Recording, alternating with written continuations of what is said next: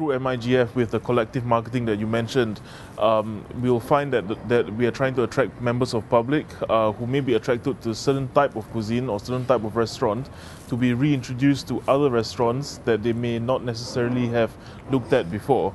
So um, that's what I'm looking for. That's what I think MIGF is going to bring value to uh, this league of restaurants that's been created. Yeah. This cross-marketing platform uh, is something that should be done more often, and um, restaurants like ours actually need to, uh, you know, to, to get our name out. We are putting a lot of effort into creating the uh, MIGF uh, menu, and um, if it does very well, it's something that we want to continue um, throughout the whole year. Um, the MIGF menu is created to be a sampler of uh, what Malay, Malay, cuisine is about in particular. It's not just about Kelantan delights.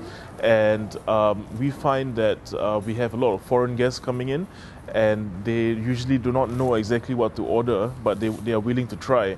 And that is what the MIGF menu is uh, actually, you know, out to, uh, set out to do.